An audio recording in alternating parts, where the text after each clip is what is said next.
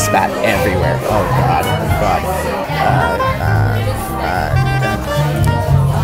it's not.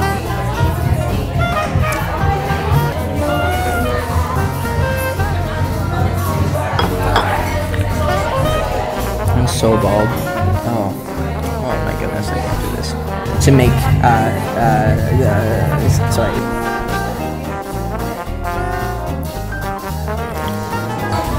Okay. See my coffee and my. Whoa.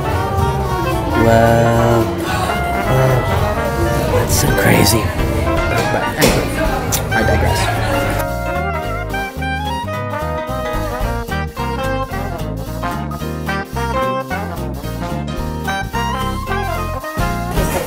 Okay, so the reason why I'm filming this, and in a very kind of obnoxious place to film, is because uh, this is actually a really interesting space. So this is Little Sisters Coffee Maker, and they actually have designed their building as a shareable space. So it's not just Little Sisters Coffee Maker that's here. There's also an architect firm. There is a uh, clothing designer and a, a small salon, and even a tiny little pop-up store space, which is amazing. And it just kind of facilitates what um, kind of what eco justice could look like in the context of business. So yeah, all these little businesses could totally have a space of their own that's way bigger, uh, and they would be paying like eight times the rent, but they'd have their own space. But they decided to kind of amalgamate and come together in this. Uh, in this area, and they actually share things, so it's actually really neat. So the architect firm that shares the space here actually designed the space so that it can be conducive for them, which is really cool. Experiential learning is actually a huge part of this, as we have just read.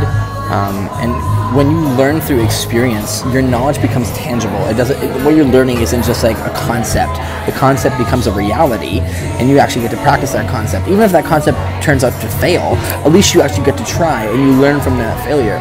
Um, and so these types of programs actually help facilitate that, and it's actually a higher level of learning um, when you, if you want to place something like something like Bloom's taxonomy, um, it hits those higher levels of that taxonomy. Now, what it also instills, it instills an ownership over over not just one's learning, but one's life. So when a student enters a, a program such as this, a Week Without Walls, they are instantly thrust into the real world. They're forced to develop skills in which a school environment of sitting at a desk listening to someone talk doesn't actually facilitate.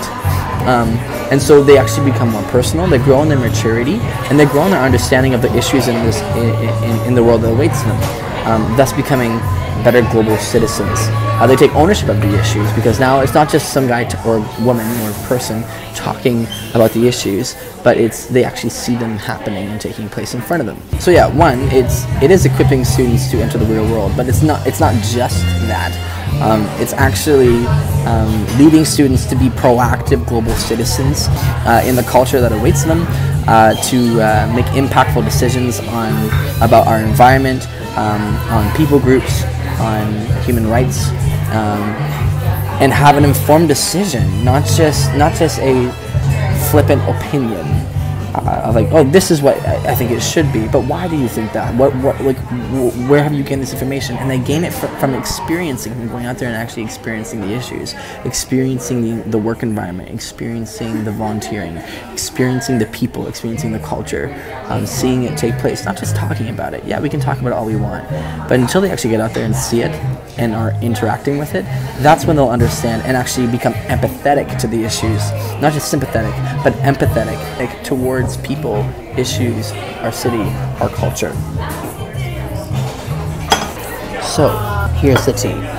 I'll tell you the tea. You want to know the tea? I will tell you Week Without Wall programs are needed. We need them, we need them, we need them. Are we doing them well? Mm, yeah, there's room for growth in everything.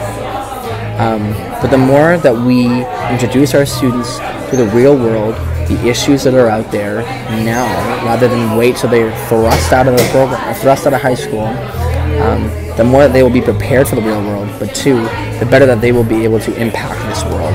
And I think that is a strong responsibility that that, that, we have as not just as teachers, but as as people part of the education system. It's our obligation to make sure that our students come out as proactive global citizens. And come check out Little Sisters Coffee Maker. It's worth it. Bye, Felicia.